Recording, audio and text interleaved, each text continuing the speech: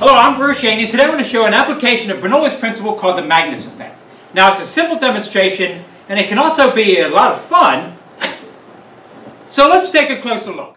Now, these flyers can be made out of all sorts of materials. These are cups and bowls that are made out of foam. Now, let's go see how it's put together. The construction is very simple. Take the cups and put them bottom to bottom, and a piece of tape is going to hold them tightly against each other. Let's get this wrapped around here. And press it down tight so they hold, and there we go. And we did that with the plastic ones, and also with the paper. Now I start with four small rubber bands and simply loop them together. So there's two. And there's the third one, and we'll add one more. So here's my long single rubber band. For my bigger pieces I use large rubber bands, and this one I use for my very largest piece. Now let's go try it. We start by holding the rubber band in the center of the cups, wind it around three or four times, stretch it out in front, pull it back, and release. Now let's try that again.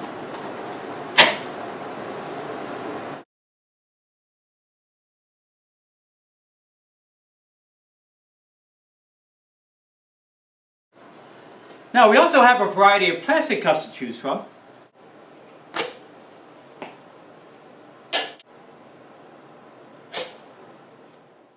These small cups work really well.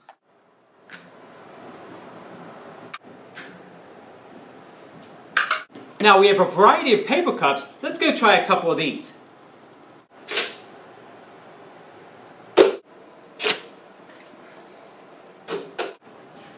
Now this largest one is made from two popcorn barrels. Let's go see how it flies. Pour it back and release it.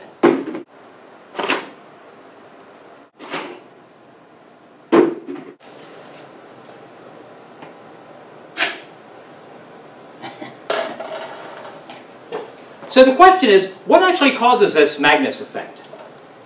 Now the rubber band is wrapped around the cups, it's stretched back, and when I release it, the cups go forward, and as it travels forward, the cups are actually spinning in this direction. Now to see this a little bit better, I put an LED light inside this cup. Now let's shoot it.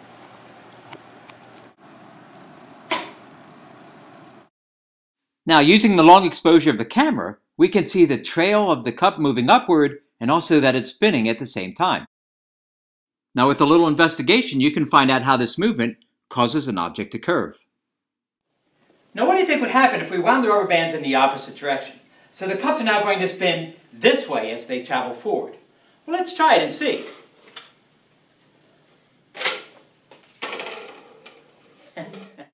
so now the cup curves downward. Now we can also try changing the orientation of the cup, so now that it's vertical instead of horizontal, and see what effect that has. This causes the cup to curve sideways.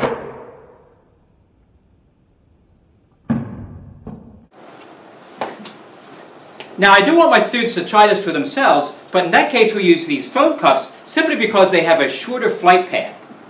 Josh. Two, three. Two, three, go! go! So I found the flying cups to be a good activity for students to investigate. There's several variables that they can change, and they will see how they affect its flight path. Now I gave myself a challenge, and that was to build a holder that would keep the cup in place until I'm ready to fire it. So I call this my cup gun. The rubber band is wrapped and stretched the same way, only it's this wooden piece that's holding it in place rather than in my hand. Pull the trigger,